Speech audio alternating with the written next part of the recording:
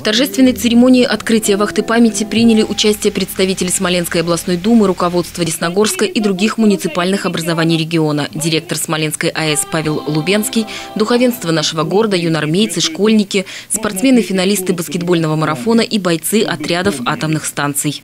То, что мы сегодня в Десногорске, в преддверии Дня города, это правильно и отрадно. Десногорцы имеют в своем составе три поисковых отряда.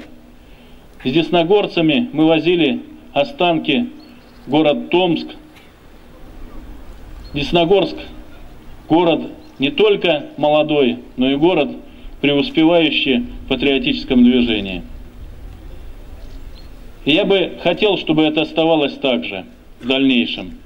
Именно по инициативе смолян в 2007 году поисковые отряды атомщиков России объединились. В объединение вошли поисковые отряды Ленинградской, Нововоронежской, Курской, Калининградской, Балаковской, Ростовской и Смоленской атомных станций. Первая вахта памяти с участием сводного отряда атомщиков прошла на Смоленской земле. Первая межрегиональная вахта памяти стартовала на территории Рословского района. С тех пор стала доброй традицией ежегодно вести поиск в регионе расположения одной из атомных станций. На счету поискового объединения атомщиков сотни поднятых героев войны, десятки установленных имен и найденных родственников. Сегодня юбилей создания поисковых отрядов атомных станций России. Мы всегда будем в неоплатном долгу перед теми, кто защищал отчизну в боях, кто не щадя себя совершал трудовые подвиги в тылу, кого замучили в фашистских лагерях, кто так и не дожил, не дождался, не встретил счастливого дня Великой Победы.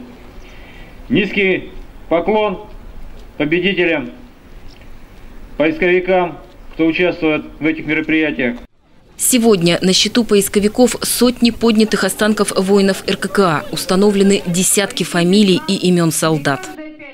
В этом году у нас принимают участие представители семи атомных электростанций. Э, порядка 75 человек. Очень э, многочисленная вахта, в этом году практически полный состав. Самое главное, конечно, не количество тех бойцов, которых мы поднимем, а сама работа, э, само участие. В вахте памяти принимают участие десногорские отряды «Обелиск» и «За Родину». Работы будут проводиться в Ельнинском районе у деревни Витетнева. Именно на этой территории в 1943 году проходила Смоленская наступательная операция.